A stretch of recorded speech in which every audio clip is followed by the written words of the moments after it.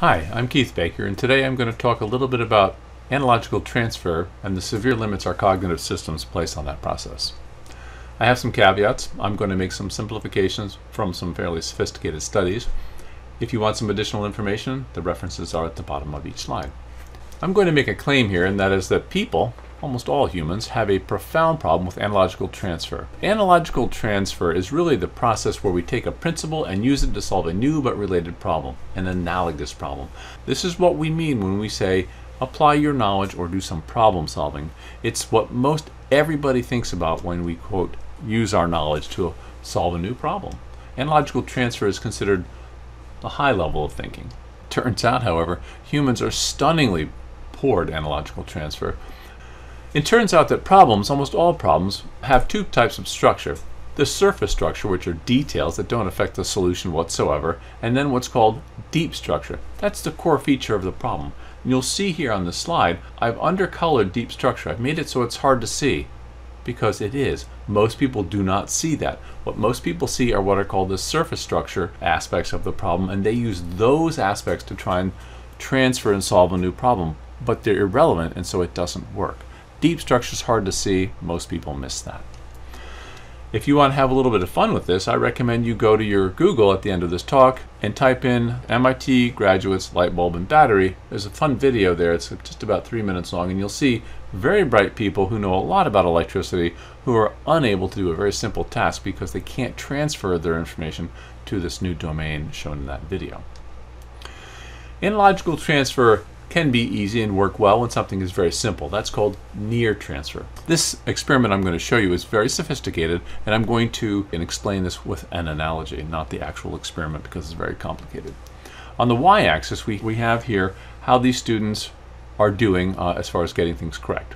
First we're going to take our example of our rule-based, very easy process, something like addition as an example. If you can learn to add 3 plus 4 and 6 plus 7 and so on, then adding a new set of numbers is not a very hard process. They are analogous but very similar one to the other. And so if you've been getting feedback and doing very well and you keep doing these problems, and then right here at the broken line, you have an analogous problem, meaning new numbers, that's not hard. You continue to get them all very correct.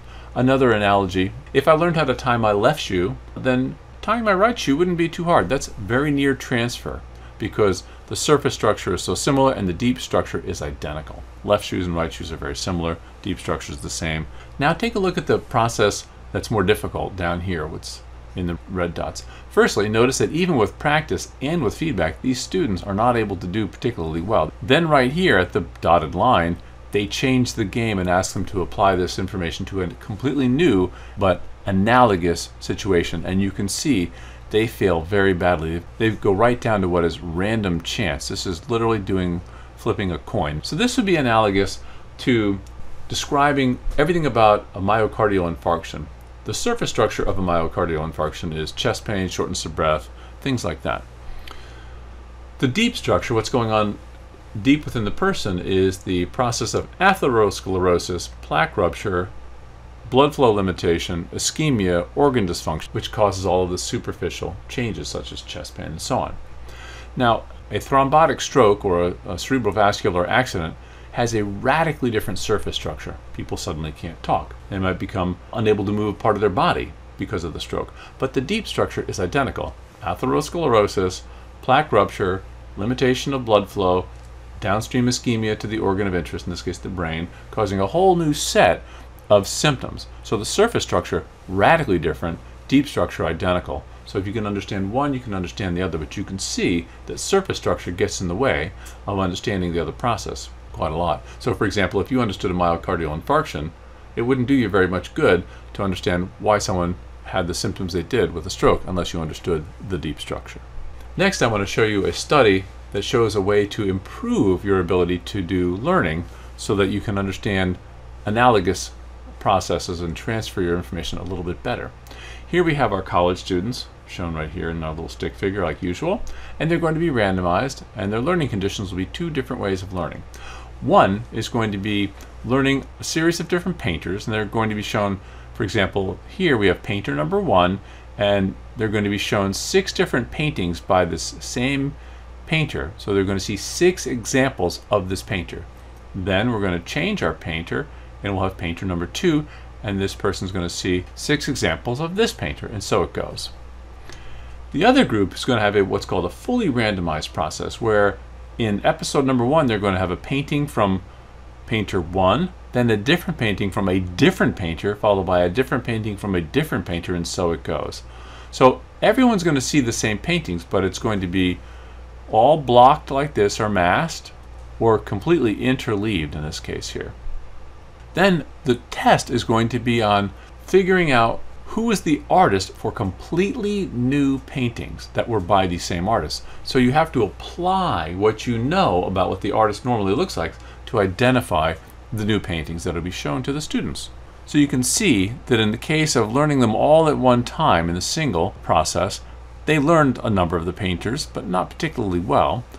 In contrast, when they mixed them up the way they did, they learn the new paintings much more effectively. This probably occurs because the learner is having to compare and contrast all along this time. They're having to compare each of the new paintings to try and figure out what is the new element, why is this painter different than that next painter. They're figuring out deep structures of what makes those paintings unique to that painter. And then when they're shown new paintings, they can do much better. So it's comparing and contrasting to get at the deep structure. In another study uh, that's related to the concept of comparing and contrasting, we have our MBA students shown here who are randomized to study two different negotiation cases. In both cases, they get the identical cases. It's what they do with the material that's going to make all the difference. Reading each one sequentially and studying it top, comparing and contrasting in the bottom. Then they're given a completely new task, which is to a two-party negotiation. And the question is, who's going to end up with more contracts at the end of this two-party negotiation? And you can see here that the group that did the comparison and contrasting ended up with far more contracts than the group who studied one and the other. So apparently, when you do the comparison and contrasting, you're able to understand the deep meaning of this and then transfer to a new domain, as in the case of contract negotiations. Do you want learners to recognize something? Then teach using concrete examples. You do that because the concrete examples, by being slightly different on the surface, will build what are called schema so that they get a good broad variety of what a case looks like. Concrete examples can be good for recognition. When you give a variety of examples, the next example in line is likely to be recognized. On the other hand, if you want people to apply their knowledge to a new circumstance, you're best off with abstract concepts because studying the abstract concept allows you to get right at the core or the deep structure of something which allows you to transfer it to a new situation. People don't like this sort of work. It's much more difficult than concrete examples, but it's much more effective for transfer to new situations. Thanks very much for coming along on this short walk on the Expert Pathway.